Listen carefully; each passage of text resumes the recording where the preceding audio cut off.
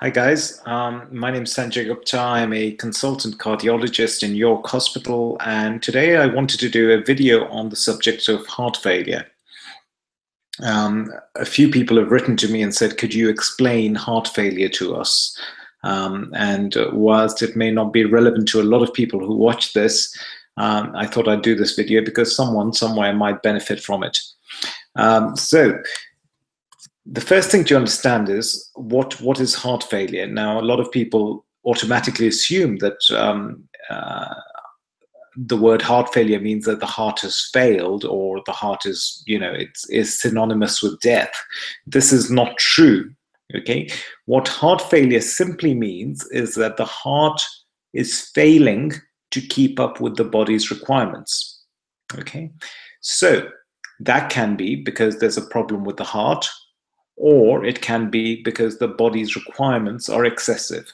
So the heart is doing what it should do, but if the requirements placed upon it are excessive, uh, then the heart can fail to keep up with the body's requirements. The end result is pretty well much the same, um, but uh, uh, let's talk about what kind of things can make the body's requirements go up. So in particular, for example, things like thyroid uh, disease. So the thyroid gland, you know, causes the heart to work much harder, um, asks a lot more of the heart, and the heart fails to keep up with the body's requirements. Uh, similarly, um, anemia, you know, if you are anemic and if you are severely anemic, then the heart then the heart has to work much harder to try and get blood around the body and that can lead to heart failure however those are not the really dangerous causes of heart failure the, because they're caused by something else so if you treat the thyroid gland if you treat um, the uh, anemia if there's an infection, for example, that can sometimes cause people to go into heart failure. If you treat that, then the heart itself is normal. Okay, those causes which place excessive demands on the heart are called uh, are called um, high output cardiac failure or high output heart failure, i.e., the heart is producing an output, but the output is simply not enough to match the requirements of the body. The more sinister uh, type of heart failure is low output heart failure, and that is because there's a predominant problem with the heart, and therefore in some way the heart is damaged um, or there's a leaky valve or something like that. And therefore, the heart is not capable of meeting the body's requirements. Now, the time this is most noticeable is when the body is asking for more, so on exertion. So the body asks for more, and although the heart may be able to keep up with the body's requirements at rest or when the body exerts itself, uh, the heart is unable to keep up with the body's requirements. And this usually manifests with symptoms of breathlessness and exercise intolerance, i.e., you can't do as much on exercise or you can't do as much exercise as you are you would think you would be able to because the heart is failing to keep up with the body's requirements. So how does the heart become damaged? Um, well, the commonest way is through heart attacks. There are a substantial number of people who can have heart attacks and not really know about them. Now, this is by no means meant to scare the majority of young people who are healthy and will not have this problem. However, in the older population, particularly diabetic patients, it is possible, or particularly patients who have bad high blood pressure, it is possible that you can damage your heart, have silent heart attacks, and therefore the heart is now damaged. Uh, there is a scar, and therefore there's not as much heart muscle to pump blood out. Um, that's the most common way, uh, but also things which are toxic to the heart. So alcohol in excess, if you're someone who, uh, you know, you are drinking excessive amounts of alcohol for several years, that can be toxic to the heart and the heart muscle um, can get affected and the heart can weaken and that again has the same effect. Uh, similarly, uh, some chemotherapy agents can do this. Similarly, um, uh, there is something called um, a viral dilated cardiomyopathy. So viruses can sometimes do this. But in essence, the basic idea is that the heart, for some reason, becomes weak and therefore is not able to pump out enough blood. Now, what happens then? Okay, let me just explain this to you so you can understand exactly what starts happening. The heart pumps less blood out. The kidneys are used to getting a certain amount of blood, but because they're getting less blood than they expect, they think that the body is dehydrated. And therefore, the kidney's function is to try and absorb more fluid into the body to try and restore this volume. They don't understand that the reason they're not getting enough is not because there's a shortage of blood, it's simply because the pump that is pumping the blood is weak. So they will absorb more water through the urine, and therefore, you are now having more volume within the blood vessels. And the idea is that the kidneys think that by restoring the volume, they will then get more um, blood coming to them. But the problem is you have more volume, but the heart is still weak. So you're um, so the heart is still going to pump less out, and the kidneys are still going to try and absorb more water. So you get into this vicious cycle where the kidneys are absorbing, uh, but the heart is not pumping blood is not pumping more blood. The kidneys are absorbing water to try and restore the blood volume, but the heart is still unable to pump the volume required to the kidneys. And so you get into this hideous vicious cycle. And what tends to happen is that you start filling up with fluid. You know, you get more and more fluid building up. The heart gets progressively more and more stretched because there's all this extra volume coming in, and therefore it becomes dilated. And this condition where the heart becomes dilated and is weak is often referred to as a dilated cardiomyopathy. A big heart uh, enlarged heart, which is weak, dilated, cardio meaning heart, myopathy meaning weak muscle. So dilated cardiomyopathy is the same as a weak heart. And uh, this is how it happens. And what tends to happen is for a lot of people, what they tend to find is they start swelling up. They start developing swelling of their ankles. They start developing bloating of their stomach some of this extra volume, extra fluid leaks out into the lungs. So a lot of people will then say, oh, when I lie down, I start getting more breathless and I have to prop myself up um, on three or four or five pillows just to be able to breathe.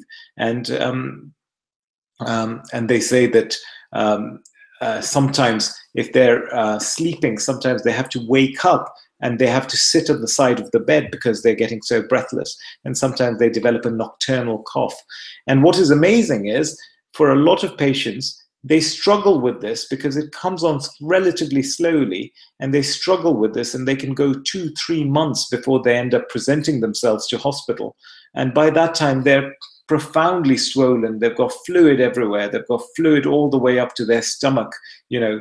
And the way you can tell is you press on their feet and your your thumb or your finger when you press will leave an indentation suggesting that there's fluid in in the legs so this is what heart failure is. It's not it doesn't automatically signify that you know you're going to die. And nowadays we have great treatments available uh, which can actually allow people with heart failure to leave, lead pretty normal lives okay? And in some cases where the mechanism of the heart failure, the cause of the weak heart, is not a heart attack, there is considerable chances that with good treatment, the heart can normalize.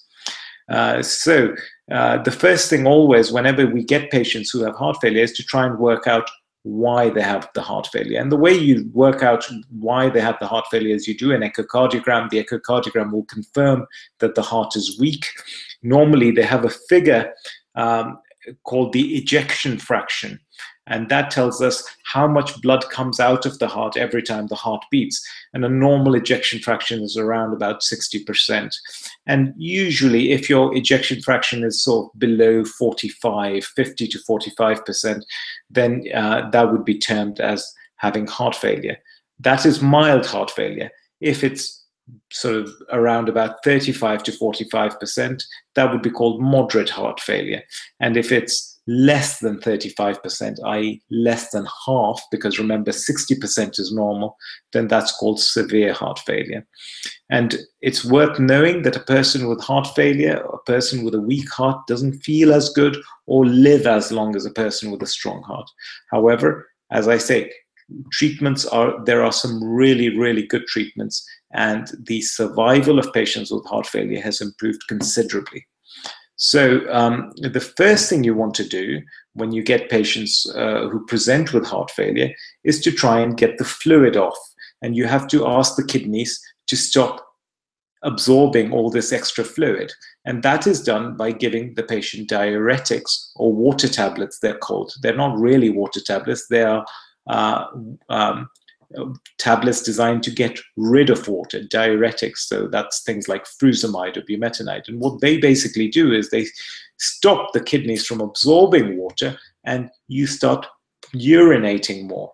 And as you start urinating more, slowly and gradually, this all this extra fluid goes away and the patient feels better. Their leg swelling gets better, their breathing gets better. That doesn't mean you've cured the heart failure because they're still left with that weak heart, uh, but you've gotten their symptoms better. Then there are some tablets which are designed to actually reduce or delay the progression of heart failure. Remember, heart failure is not a static thing, it's not just one bit of damage. What happens is this progressive uh, absorption of water, progressive stretching of the heart, progressive weakening of the heart. And so, uh, what you have to do is try and put a stop to that as well. And there are three three agents which are available which are particularly good at that. Beta blockers ace inhibitors or angiotensin 2 antagonists and finally aldosterone antagonists. So beta blockers most people are familiar with. Ace inhibitors are things like ramipril or lisinopril and then aldosterone antagonists are things like spironolactone. And whenever you go if you are diagnosed or if someone you um, love is diagnosed with heart failure, it's important that they are taking all three agents because what we know is having a little bit of the three separate agents is much better than having lots of just one agent because they work in different ways to try and strengthen the heart up or at the very least try and prevent the heart from getting weaker. Uh, and we know that those people who manage to take these agents tend to live longer from their heart failure than people who don't. So it's really important uh, to bear that in mind. Finally, nowadays, we also have the ability to put in special devices called pacemakers, uh, and these are called um, uh, biventricular pacemakers. And uh, basically, what biventricular pacemakers are, are it's a mechanical way of making the heart pump more effectively. As the heart gets bigger and bigger and bigger, it becomes flabby. And so different parts of the heart contract at different times. So, you know, if you have a flabby bag and you press on one side, instead of everything going out, some goes here. So by putting in this biventricular pacemaker, what you can do is you can make different parts of the heart all contract at the same time and therefore lead to a more uh, effective contraction, i.e. more blood goes out. And that is really the mechanism of heart failure and the treatment of heart failure. So if you are aware of people that you may know or love who are complaining of progressive breathlessness, who are finding that their legs are beginning to swell up, who are finding that they're not able to sleep flat and they're going to have to, they're trying to prop themselves up at night, that could well be heart failure. The best thing is go to your GP or consult with a cardiologist, have an echocardiogram, and this will put your mind at rest. Now, some people say, can you have heart failure and have a strong heart? And the answer is yes, you can. And there is another way in which you can get heart failure if the heart is not weak and if you don't have any of those conditions that I described at the beginning where the demands are increased. And that condition is called diastolic heart failure. Now, in people who have high blood pressure, what can happen is that the heart doesn't become weak, it can still contract, but it becomes uh, stiff and therefore does not relax quick enough. And because it doesn't relax quick enough, it doesn't fill with as much blood. So when it contracts, it still pumps out less blood to the kidneys and therefore you can still get into this vicious cycle where you absorb more and more uh, fluid. Uh, and so that is diastolic heart failure, which tends to occur in patients who have high blood pressure. Um, it's always a good idea if you have heart failure to try and avoid salt because we know salt retains water. Um, and other than that, it's just really good to try and lose weight and keep going with your exercises, etc. Because we know exercise and um, and um, um uh, a good diet, weight loss is all very good in heart failure. So I hope this was useful. Uh, it's slightly different to what I normally do, but I think there are lots of people out there who uh, may know someone who has heart failure, who may have some questions about heart failure, and I hope this explanation goes some way into trying to answer some of the questions that may have been raised by people who have recently been diagnosed with heart failure. Um, I'm really grateful to all of you for taking the time to watch my videos. I get some great feedback and I'm always grateful uh, to hear from people. And I'm always really appreciative when people leave um, nice comments and I'm very grateful. Um, um, if you find this useful, please do consider sharing it because it'd be nice for my message to get out there. I want to try and empower people. I want to try and make people aware of their health. I want people to try and take control of their health so that they don't develop diseases or they identify diseases at an early stage and get good treatment for them at an early stage. Equally well, I don't want people to worry unnecessarily about their health. Um, and I hope that some of these videos will help with that. So if you um, have enjoyed the video, please do consider sharing it. If you want to get in touch with me, you can do so through my website, uh, which is yorkcardiology.co.uk. I have a Facebook page, um, and I also have a long-suffering secretary called Jeanette, and you can ring her on 01904725811. So thank you very much, and all the best. Bye.